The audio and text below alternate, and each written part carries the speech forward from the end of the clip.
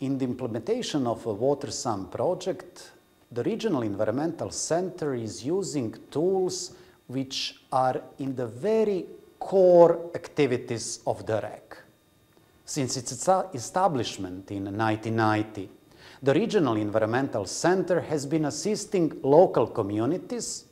by building their capacities on sustainable development in environmental planning, management and financing. Our methodologies are based on establishing and environmental citizen groups at the local level which are incorporated into municipal, in municipality administration, on enhanced capacities of key experts from local authorities and their institutions to the central government level,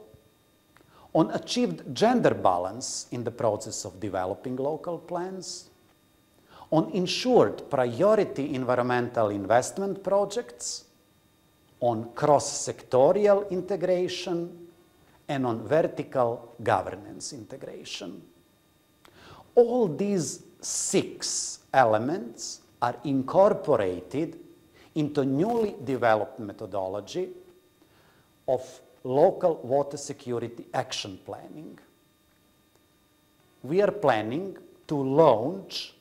to present the manual on local water security action planning, which clearly present the newly developed methodology, which hopefully will become an important tool used by the Regional Environmental Center, by interested municipalities, not exclusively in Middle East and North Africa region, but also in other regions of uh, Africa, Asia, Europe, everywhere where water security could and should be addressed.